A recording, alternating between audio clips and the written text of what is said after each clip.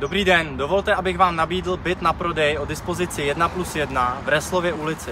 Je jenom kousek od náměstí Přemysla Otakara II., od Igi centra a také od Českobudějovické náplavky, kde se právě teď nacházím.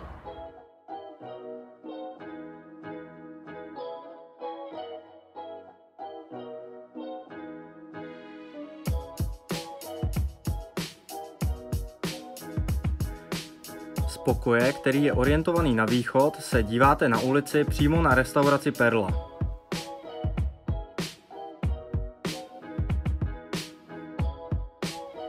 Obě dvě místnosti spojuje chodba, dále je k dispozici samostatné WC, koupelna a sklepní koje. Z druhé místnosti, orientované na západ, se vám pak nabízí pohled do společného dvorku.